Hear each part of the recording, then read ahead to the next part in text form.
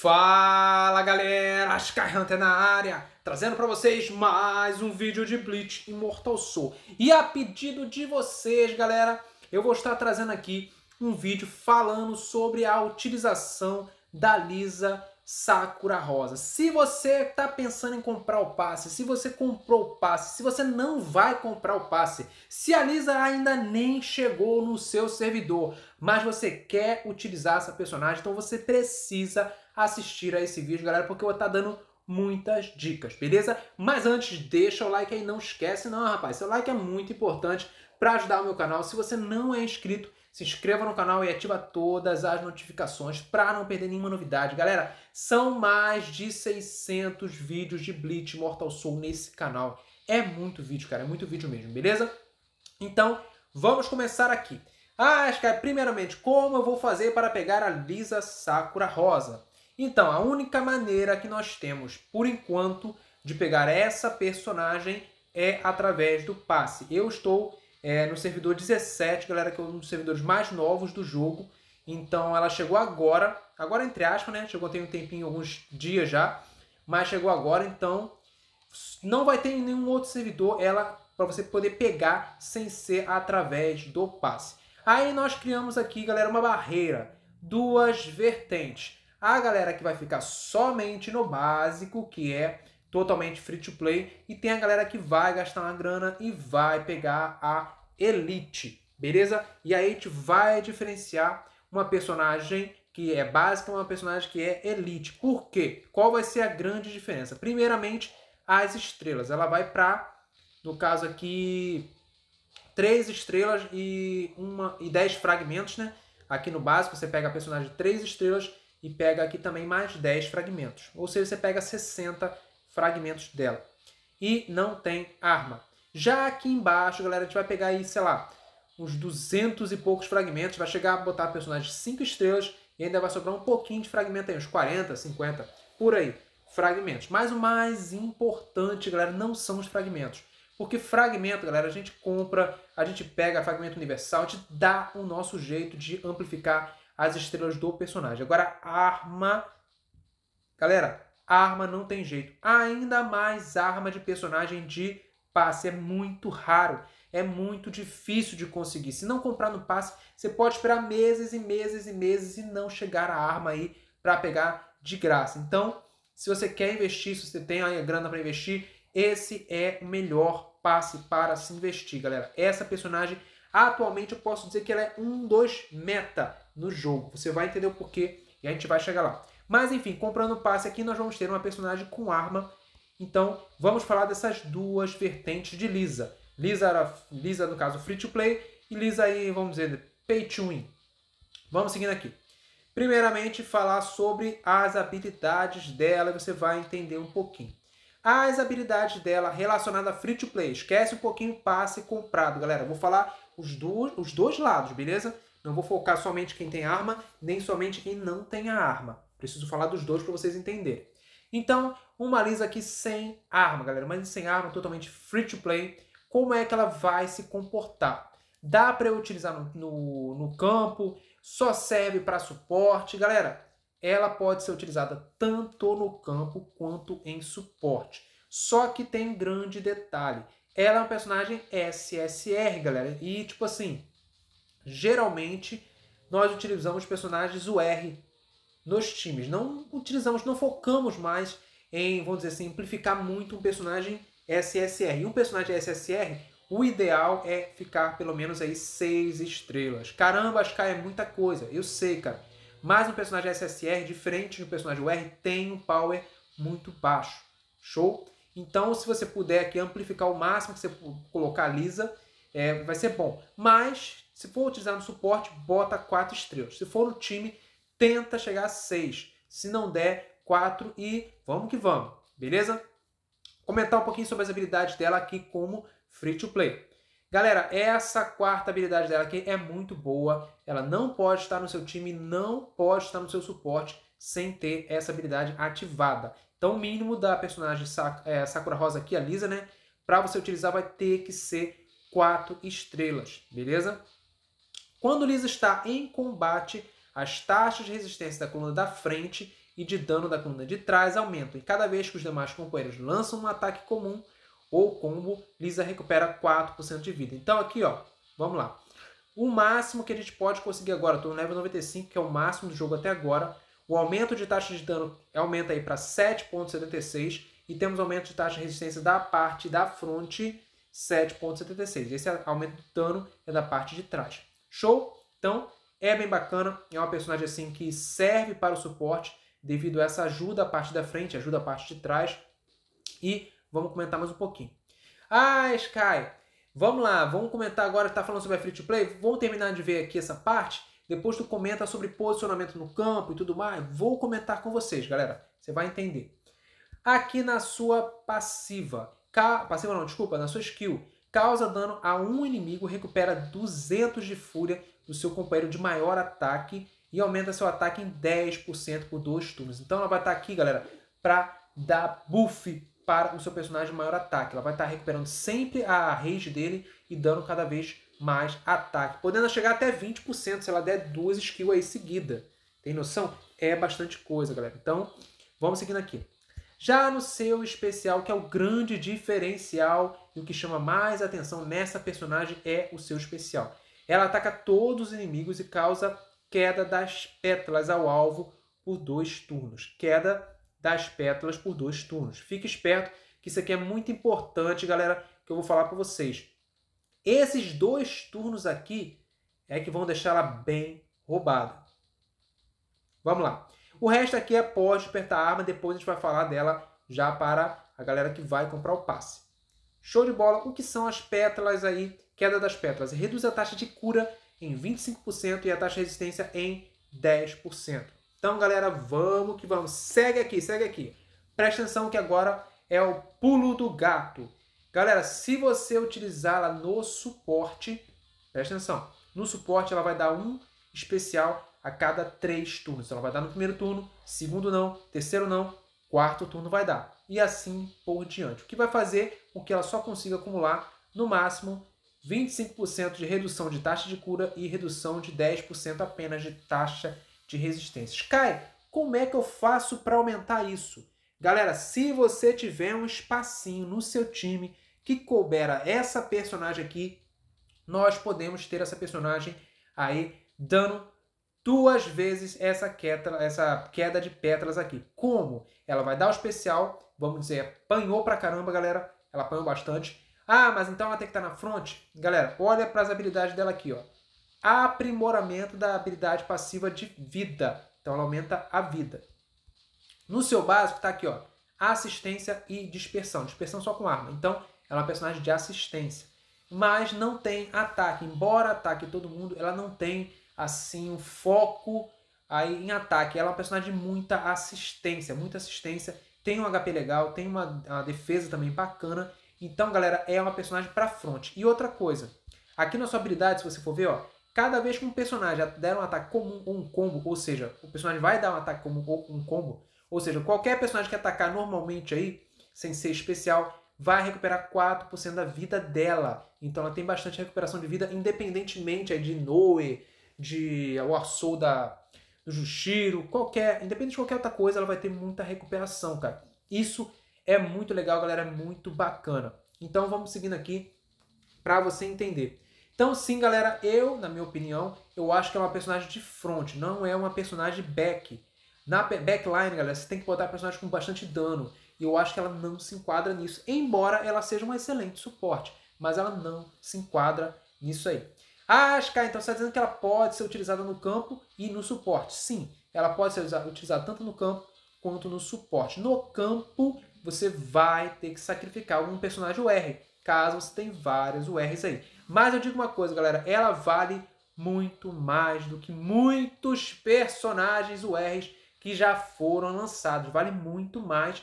Galera, vale muito mais mesmo. Ela é muito roubada. Para mim, ela poderia ter vindo UR tranquilamente, sem modificar nada nas habilidades dela. Ela já seria uma excelente personagem UR. Beleza? Mas vamos lá. Então já falei com vocês, caso você não vá comprar o passe, você vai poder utilizá-la no suporte, você vai poder utilizá-la também em campo. Só que em campo tem esse detalhe. Se você botar ela aí com alguma coisa para poder fazer com ela resista, ela toma muita pancada. Então ela dá o especial E se ela der o especial no outro turno, galera, você vai ter esse combo aqui, ó. Você vai ter dois combos, aqui, cadê? De queda das pétalas. Você vai ter dois combos. Então você pode reduzir até 20% da resistência e reduzir até 50% da cura. Muito top. Agora já no seu suporte ela não vai dar esse combo, porém ela vai dar o especial garantido. Então ela vai garantir que vai retirar 10% da resistência e vai garantir também que vai pegar e vai também dar essa, vamos dizer assim, redução da cura, que é o que ela dá também. Sky, mas ela sem arma é, tipo assim, vale a pena investir como personagem? Galera, ela vai ser muito boa, vai continuar muito boa, mas o que torna essa personagem excepcional é a arma. Porém, se você utiliza um time feminino, ela vai se comportar muito bem também, mesmo aí não tendo arma, entendeu? Mesmo tendo arma, no time feminino ela fica bem bacana. Se ela tiver arma, fica melhor. Mas, se não tiver arma, dá para utilizar também. Até em qualquer outro time. Só que, dependendo do time, as coisas mudam um pouquinho. Mas já vamos falar um pouquinho de formação. Vamos voltar agora para a galera que vai comprar.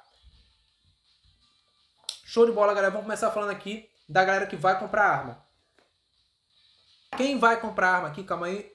Tá, beleza. Agora foi.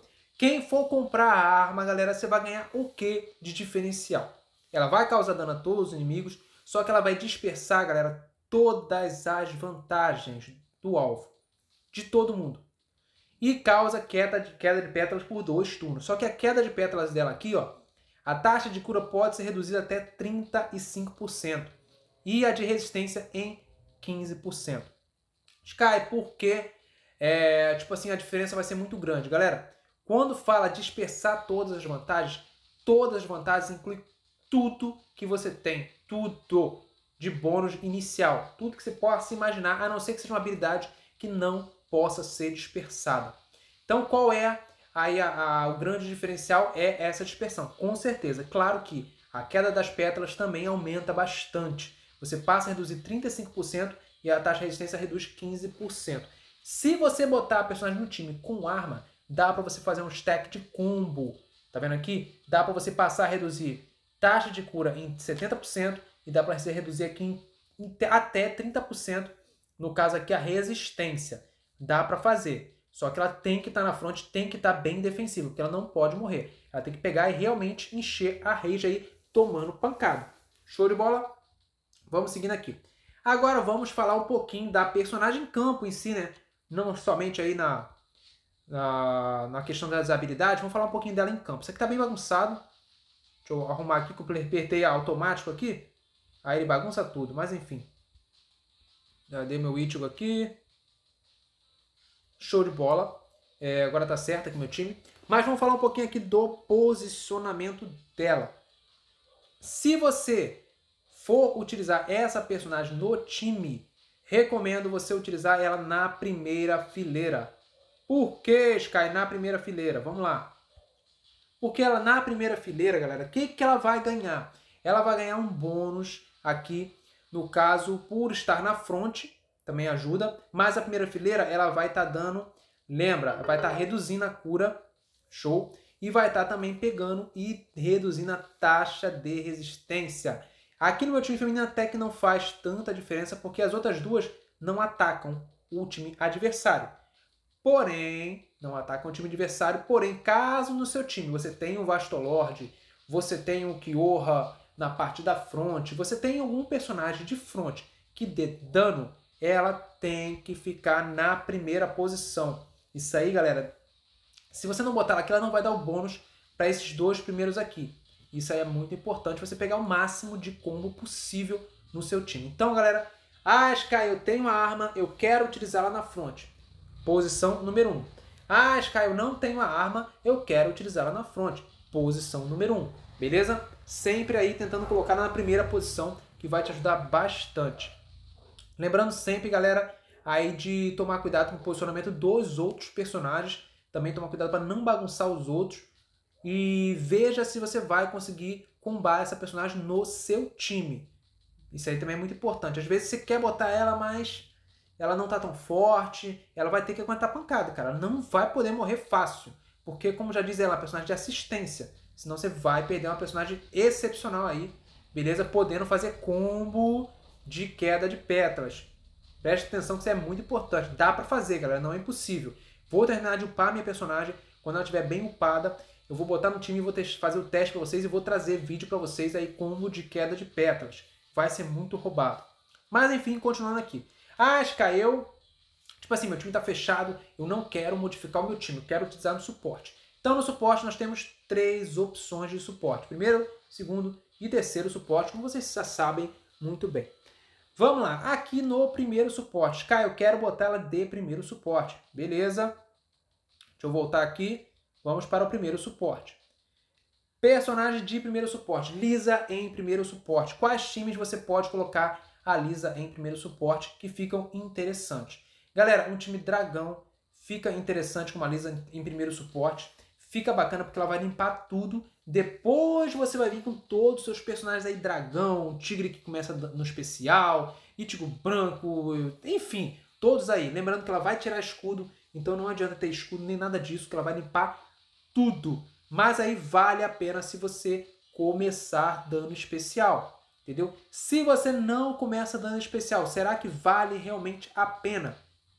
Você vai ter que pensar. Por exemplo, você vai enfrentar um time que você não tem muita iniciativa. Então talvez na primeira posição não valha a pena. Por quê? Você vai dar o especial é, com ela, mas ela, os outros personagens em campo estão aí com controle. Então não vai adiantar muita coisa. Talvez uma Yashiro de primeiro suporte seja mais interessante quando você enfrenta um time com muito controle.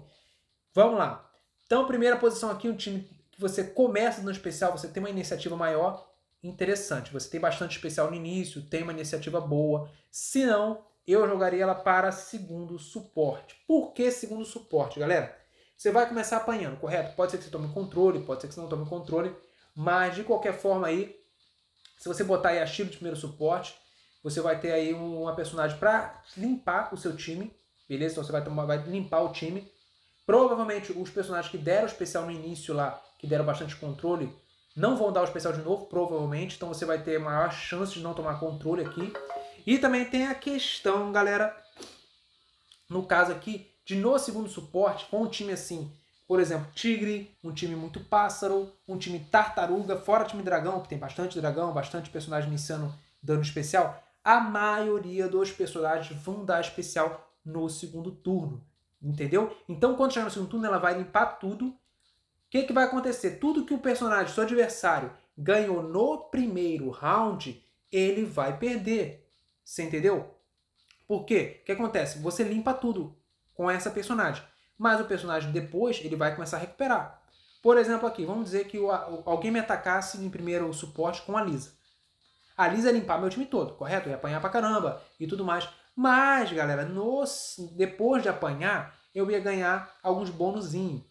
Quais seriam? Eu ganharia bônus com ela, tá vendo aqui, ó? Porque ela dá 10% de taxa de resistência. Eu ganharia bônus com o especial dela. Se alguém morresse aqui, ó, eu ganharia bônus com ela. Ah, Sky, mas ela vai dispersar se alguém morrer. Não, galera, não vai dispersar. Por quê? Primeiramente, essa parte de dispersão não funciona na Haribel. Depois você dá uma olhada na habilidade dela, não funciona a dispersão, ela é imune a essa parte de dispersão quando um personagem morre. Já outra coisa, ela, a Lisa já vai ter dado especial no suporte. Então, se alguém morrer depois, o bônus que eu ganhar, ela não vai ter tirado. Você entendeu? Tem esse detalhe também. E outra coisa que também são essas possibilidades aí que você tem de dar o especial. Você tem que avaliar, galera. Avalia com calma quais, quantos personagens atacam no primeiro, quantos personagens atacam no segundo, quantos personagens repetem especial no terceiro. Às vezes talvez seja mais interessante no terceiro.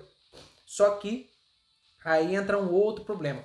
Eu não recomendo ela muito no terceiro suporte, porque você vai demorar muito para dispersar tudo do seu adversário. E se o adversário tiver uma lisa no primeiro ou no segundo suporte, pode ser que ele mate seu time em mais da metade do seu time.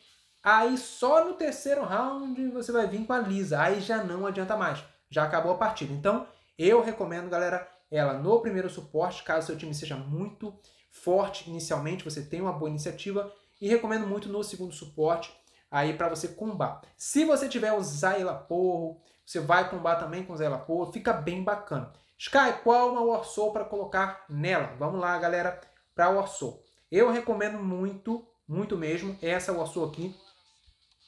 Eu só não vou utilizar essa Warsaw nela, cadê? Pera aí. Eu só não vou utilizar essa Warsaw na minha lisa porque ela vai estar tá na minha fronte. Senão eu iria utilizar essa aqui se tivesse no suporte, que é o espírito marcial fragmentado. É o melhor para ela. Lembra que ela reduz taxa de resistência? Aqui ela tem chance de fazer com o dano recebido pelos alvos seja aumentada em 15%. Muito bom, né, cara? É um stack aí de, de combo para poder aumentar o seu dano. Mas, galera, muito importante. Outra coisa, você pode colocar nela também uma Warsaw aqui do Chad, igual eu estou utilizando. A minha geralmente dá pelo menos é, uma vertigem, também é interessante. Caso você tenha algum personagem que se beneficie, um mítico branco, um Tenzo Zangetsu, que se beneficia de um status de controle, né? Pode ser que seja interessante você botar um do chato. Outra coisa também aqui, você pode botar, aqui também é do Hanataro, galera. Do Hanataro ela vai tirar Rage. E isso também ajuda bastante, caso você não tenha no seu time ou em outro personagem. E por fim aqui você pode utilizar do Aizen também. Lembra que eu falei, ó, já, você pode botar aqui ó, um combo. Olha que como interessante, galera. É fragmentada com Aizen. Mas as habilidades dela, dela própria, tornam ela a personagem aí de suporte, galera, muito roubado. Esse combo eu recomendo para o primeiro round. Para quem utiliza um time muito forte, você bota fragmentada com uma do Aizen, com a habilidade que ela já tem, mais a dispersão, se tiver arma, se não tiver também não tem problema, já fica bem forte. Você vai dar muito dano, galera. É um absurdo de dano. Entendeu? Eu acho que o dano fica até melhor do que você botar uma Neliel para aumentar o dano. Entendeu? Muito, muito importante isso daí também. Claro que se você tiver ela no time com essas habilidades também, não sei se ela suportaria ficar na front. Isso eu vou testar também, galera, porque para mim esse é o melhor combo de Warsaw para ela, que é do Aizen com a da fragmentada, mas eu não sei se ela vai aguentar a pancada na front com essas Warsaws. Eu acredito que não, beleza? Mas eu vou testar e vou trazer para vocês tudo isso nos próximos vídeos assim que eu conseguir terminar de upar ela, que é muito recurso, galera, mas vale super a pena. E essa aí eu espero que tenha tirado as dúvidas de vocês. Caso não tenha tirado aí alguma dúvida, ficou alguma dúvida ainda para vocês aí, tipo assim, no seu time, uma dúvida específica, deixa no comentário aí que eu vou tentar trazer e responder sempre para vocês. Às vezes eu demoro um pouquinho, galera, que é muita mensagem, mas eu sempre tento responder vocês, beleza? E essa aí, até o próximo vídeo. Valeu!